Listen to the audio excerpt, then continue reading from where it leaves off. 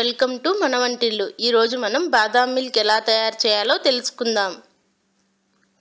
ముందుగా కావలసిన పదార్థములు.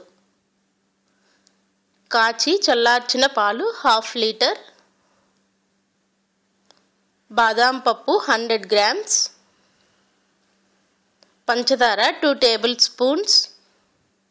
యాలకుల పౌడర్ వన్ టీ స్పూన్. ఇప్పుడు తయారీ విధానం గురించి తెలుసుకుందాం. ముందుగా బాదం పప్పును ఒక గంట పాటు నీటిలో నానబెట్టుకోవాలి ఇలా బాదం పప్పును నీటిలో నానబెట్టుకోవడం వల్ల బాదం పప్పుపై ఉండే స్కిన్ తీయడానికి ఈజీగా వస్తుంది. ఒక గంట తర్వాత బాదం పప్పులను తీసుకుని వాటి మీద స్కిన్ తీసివేసుకోవాలి.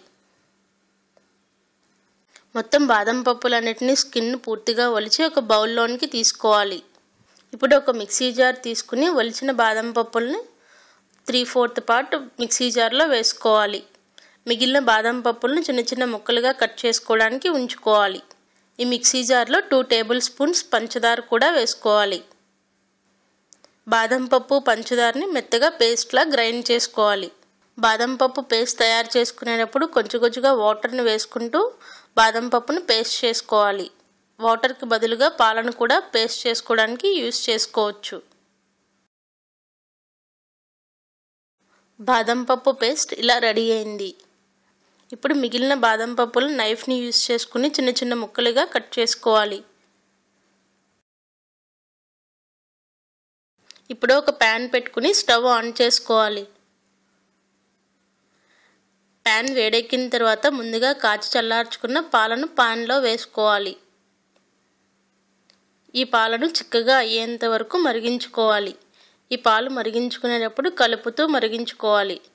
ఇలా పాలను కలుపుతూ బాయిల్ చేసుకోవడం వల్ల పాలు మేగడ కట్టకుండా ఉంటాయి.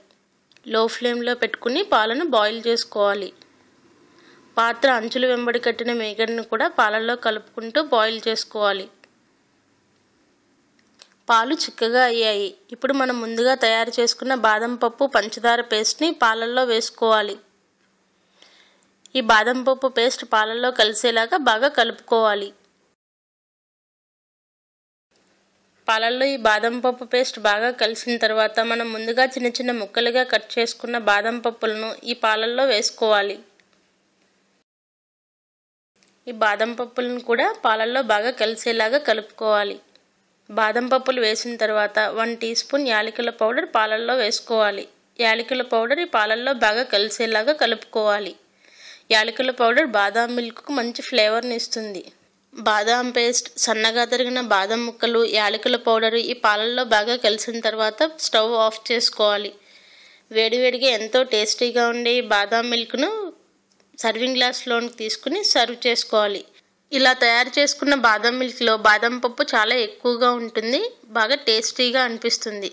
బాదం లైట్గా కావాలి అనుకుంటే ఈ బాదం మిల్క్లో హాఫ్ లీటర్ పాలను బాయిల్ చేసుకుని కలుపుకోవాలి.